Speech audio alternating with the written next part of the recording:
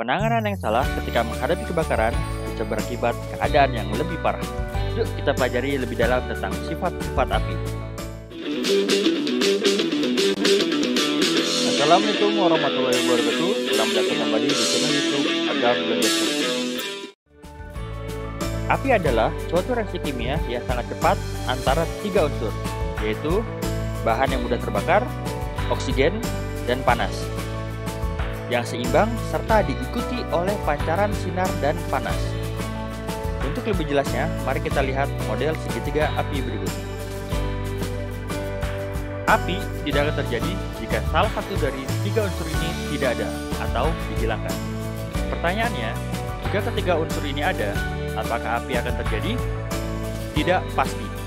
Pada definisi dikatakan tiga unsur yang seimbang. Harus ada keseimbangan. Mari kita bahas satu persatu. Pertama, oksigen. Oksigen di udara sekitar 20,8%. Jika lebih dari 20,8, maka daya bakarnya dapat menjadi lebih besar. Beberapa literatur mengatakan, jika kadar oksigen lebih dari 23%, maka bahan akan menjadi sangat mudah terbakar. Dan jika kurang dari 20,8%, maka daya bakarnya akan berkurang. Bahkan bisa menjadi tidak dapat terbakar. Contoh, gas metana atau gas alam tidak dapat terbakar ketika kadar oksigen kurang dari 10%. Dan ini setiap gas berbeda-beda. Selanjutnya panas. Sumber panas bisa berasal dari berbagai sumber, matahari, listrik, kimia, dan lain-lain. Tapi yang pasti, panas ini harus dapat melebihi titik nyala dari bahan mudah terbakar tersebut. Selanjutnya, bentuk fisik. Apa bentuk bahan yang dapat dibakar? Ya, hanya gas. Cair akan menguap dan padat akan berubah menjadi gas atau pirolisis. Solar tidak akan terbakar jika kita memasukkan api ke dalamnya, tetapi ia akan terbakar jika api tersebut dinyalakan di atasnya dalam beberapa saat. Begitu pula kayu bakar.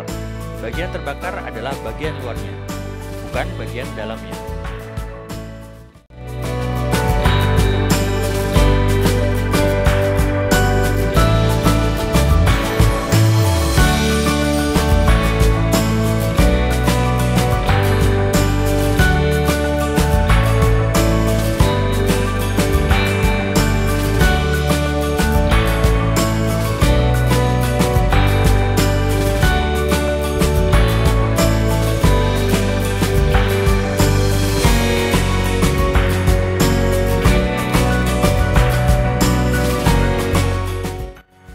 Sifat bahan mudah terbakar yang wajib kita pahami adalah flash point, fire point, dan auto ignition.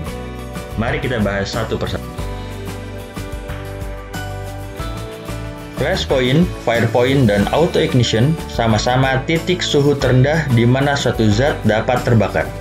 Pada flash point ada dua poin penting. Pertama, sesaat atau sekejap, dan kedua, sumber pengapian. Ya, nyalanya hanya sesaat, karena produksi uap lambat, sehingga ketika terbakar, uap langsung habis dan butuh waktu untuk produksi lagi hingga dapat terbakar. Flash point ini membutuhkan sumber pengapian atau pemantik. Perbedaan fire point dengan flash point ada pada lamanya api menyala. Pada fire point, api akan menyala secara terus-menerus.